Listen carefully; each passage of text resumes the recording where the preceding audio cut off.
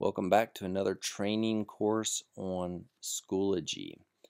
Okay, in this video, my plan is to cover the courses section of Schoology. This is a general overview. I'm going to run through what a course looks like, what it is, how it's broken down really quickly. Inside of this, I'm going to continue to make more videos that breaks down every section in detail. So again, this is just an overview.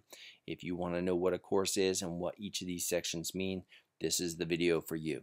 If you want to go in specifics on one section inside of a course, please check out my later videos. Okay, so let's get started. Assuming that you're inside of Schoology, if you're not, please go back. If you have any questions on what I'm talking about, please go back and watch the Welcome to Schoology video. But assuming you're in Schoology, if we click on courses at the very top of the screen, you're going to see a list of your courses. Now, all these courses are generated for you from DASL. So when the secretaries and the principals set up the classes at the beginning of the year and assign the students, these will be auto-created for you. There is nothing else you need to do. Okay, now if you're looking at my screen, these courses are created by me. These are junk courses because I'm not actively teaching in class. So these are set up for you to use. Now over here on the far right, I've got this training course video. I'm going to click on this course and it's going to immediately take me inside of my course. Okay, so I'm going to start by going down this side of the screen and then I'm going to cover each section quickly and we'll cover these buttons over here last. Okay, and this side last. Okay, so going down the left side of the screen, the first thing you notice is our course picture. Now by default, this is going to be very generic, not very appealing. This is what kids see when they click on your course. So this is what they see, how they identify it. If you hover over top of it, you get this edit picture icon. If you click on it, this will allow you to go through and pick one of the pre-designed images from Schoology to set your classroom picture to. If you don't like any of these images, you can choose your own. Notice there is a max file size, so if your picture is too big, it won't work. So that's your options. I can click on one of these pictures and notice it changes. Or I can click edit picture and attach and find the picture on my computer. Please notice where it's pointing you to. Now I wanted to pick a picture off the desktop, so I'll do that. I'll scroll down and I'm going to use the picture I had before, which is just a Schoology image. Um, this helps identify, since this is a training course for Schoology, it only makes sense to use a Schoology picture as my course picture. So I'm going to select that and click choose. Once the file is uploaded, you'll see it here and you'll notice that over on the left hand side I can actually already see that it's there.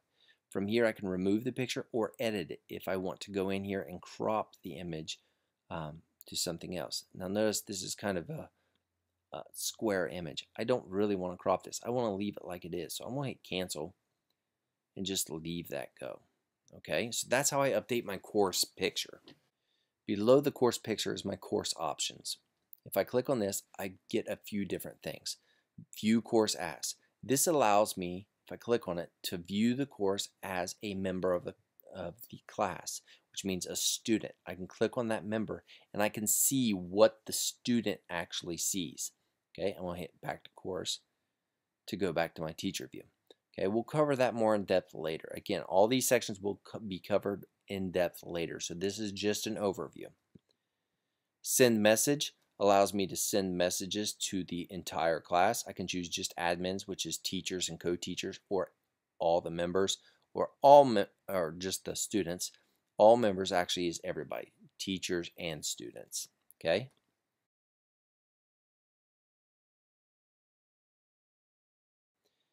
Edit information is information about the course. Privacy settings, this is very, very important. This is what the students see and what they're allowed to do. Okay, we can choose to moderate posts, which means if we're allowing our students to go up and make comments on one of our posts, we can actually say we want to approve these before they're posted. And recycling bin, which we'll talk about later. Um, Right below that's materials. This is the page that we started out with, and that's because of the way the course is currently set up. We can change that later, and I strongly advise it because materials is all the materials that you have in the class. Now, hopefully you've got it organized better than this. What I did was I uploaded some old files with old dates. Um, so these are really, really old files that I put up here, but this is not well organized. Typically, I'd want to do folders and see chapter one, chapter two, but in the material section, this is where I can go and I can add folders for organization. I can add assignments, tests, quizzes, assessments. These are very similar, but this one's got a lot more options.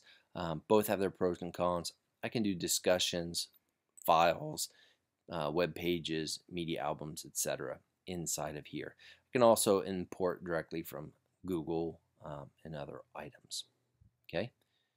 The options button in here allows me to save this course, everything in it, over to um, my resource folder, which we talked about in the previous video, which means that they're saved from year to year. Okay. So again, this should be better organized, but this is where all of our materials are. The problem with allowing all the students to see this right up front is like you. If you can remember back to when you were in college, for some of us that was a while ago, for some of us it wasn't. But if you remember back to, to when you were in college and you got that college syllabus and you saw everything you had to do for the whole uh, semester, you thought, oh my goodness, there's no way I can ever get this done. Uh, turned out that it wasn't as bad as you originally thought it was, but that's because you could see everything at once. So I really don't like the students to start out on the materials page. Some of you may love it, so that option is there. We'll talk about how to change it later. Updates is quick course updates. This is where you're going to make announcements. Uh, you can tell them that there's an assignment. You can attach assignments to an update. Um, you can do polls and quizzes, but these are just quick updates for the class. What's going on? Hey, don't forget to do the assignment for tomorrow. Remember there's an upcoming test. Items like that would be uh, what you post here. Now, I strongly recommend this to be your start page for your students, but that's up to you. Next down is gradebook. This is a gradebook that shows you what kids are doing and what their current grades are in uh, Schoology. Keep in mind that we actually use ProgressBook, so I, I don't really put a lot of weight into this. The ProgressBook is where all of our grades are actually, and that's the most up-to-date class, but Gradebook is here. Grade setup is vital. It doesn't matter if we're using the gradebook or not. For Schoology to actually send the grades that you have in Schoology to ProgressBook, you have to set up your grades. You have to set up homeworks, tests, quizzes. That needs to match with what you've got set up in ProgressBook. Once you do that, there's a quick, easy way to make these line up so that when you set up an assignment in here and you say Schoology, you should grade this assignment, it's not only going to grade it, but it's also going to automatically push those grades into ProgressBook so you don't have to do the work twice. So you can create the assignment, have it graded, have it pushed to a ProgressBook, all in one step and you're you're done saving you a lot of time in the process so this is vital so please if you don't know how to set up your grades check out this future video to cover this entire material Mastery aligns your student learning objectives with the assignments. So you can actually go in and for each learning objective, see where the students are at. So you can see whether they've mastered the, that objective or whether they need more work. Now please keep in mind, we'll cover learning objectives later, but if you don't set up learning objectives, then you won't be able to check the mastery of it. Badges are stickers. Think of these like stickers that you used to put on assignment. Hey, you have perfect attendance. Hey, great job. Good listener. You can see a list of those over here. The important thing to note is that you aren't limited to um, these stickers. You can actually create your own badges. So uh, the most annoying in class, whatever you want to actually create, that's an option for you. But these are just basically a way to hand out digital stickers to students for online work. This would be great for younger kids. Older kids might enjoy it too, you never know. Um, but that's what badges are, they're stickers. Attendance isn't used inside of Schoology. We do monitor that in ProgressBooks, so I'm not going to be covering attendance. Um, just note that you could take attendance here, but until there's an actual link, I don't see the benefit in us using it at all. Members is the members of your course. This would include all of your administrators, which is your teachers and your co-teachers, as well as all the students enrolled in the course.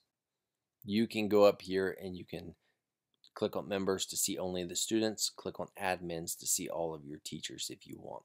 There are several options you can do. Again, we'll cover this later.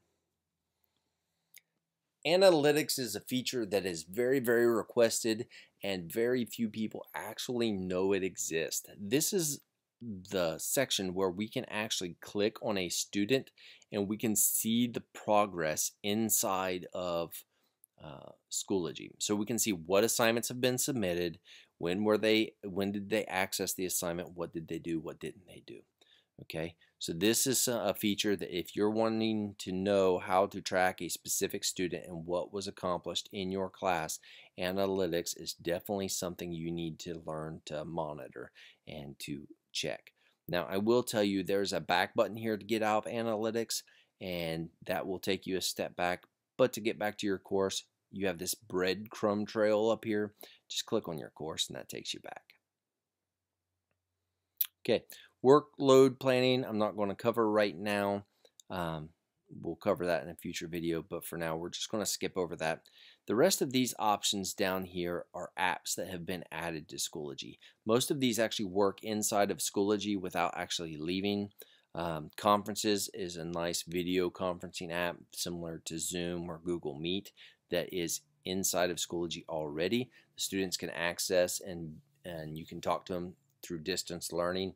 The nice part is they can't see each other. So you can see the students and the students can see you, but they can't see each other, which means they're less prone to act up and goof off inside of your lessons. So that is a benefit to conferences over some of the other um, options that are out there. Another really fun one that you should check out is Edpuzzle. If you haven't checked it out, please check it out. You can actually click on Edpuzzle and you'll get a login page you need to go to Edpuzzle and sign up first. But basically, you can take a video like from Khan Academy or YouTube. You can insert questions in the video. So as the kids watch it, it becomes interactive. So they have to answer their questions and you get a, feedback on what their answers and stuff was. Um, again, you haven't checked it out, please check it out. Some of these actually don't work. I need to clean them up. So hopefully by the time school starts, these will all be cleaned up and we'll get some of this out here. Like for instance, Discovery Education is old, outdated, and we don't have a valid license for it anymore. So it actually just says bad request if you click on it. Okay, going back to the materials, which is where we usually start our course. I already told you what this is. The other couple things I want to show you real quick is up in the upper right hand corner, you'll notice we've got this little notebook. This allows you to quickly switch between courses. If I was to click on another course, I would be taken to that same page. So if I'm on updates, for instance, I would see my updates. I could jump into my training course and it would take me to that same page. So say for instance you're updating a uh, an assignment and you want to jump from one course to the other. Well instead of going to courses, clicking on the course, make sure you go to materials and then go to the assignment. You can just click right here and jump straight to that course. Okay. Notifications. This is where you can change your notification preferences. So this button up here that we talked about in the last video to get notification alerts, a lot of people get confused and they say it's not very helpful. Um, typically it's because they're not set up properly yet. Notifications is a big topic and there's a lot of places to add and change notifications. This is one of them. In your courses, you can actually go in here, click on notifications, and choose which ones you want to get. For instance, if you want to see comments on any of your posts, check that box. Assignment submissions, okay, I want to see anytime someone submits an assignment. Or a test and quiz submission, anytime they submit, I want to see that. Uh, course comments on updates, assignments, and discussions, maybe I do want to see that. Okay, you can see a lot of different information. Be careful that you don't check too many of these because it can get annoying if you have 5 million notifications a day. So just check the ones that you really want. You can always come back in and change them. Um, same thing goes true. If you check too many, you can always come back in and uncheck them. Just make sure you click Save Changes. Now it's important to note, when you do it here inside of a course, you are changing the notifications for this course, not for every course. So you see I've got these three selected here. If I jump over to another course, Uh, let's just jump over to, that was the same course. I was afraid I was going to do that. Let's do this one here and I go to notification, notice that this is not the same. I'm not going to get notified when someone submits an assignment or a test or quiz. I have to change it in each course in order to get those notifications. So please keep that in mind. Okay. And then the final thing I need to cover real quick is this upcoming. This is going to tell you if you have something that is due soon. So if I have a test in this case, this test has a due date of May 20th, 2020 at 12:58 a.m. It's going to let me know that on that date this test is due. These other items, notice this one here has already expired and it's not even published. It's not going to be up here because it's already passed. So keep in mind this is your upcoming quick calendar view. The students see the same thing as you see.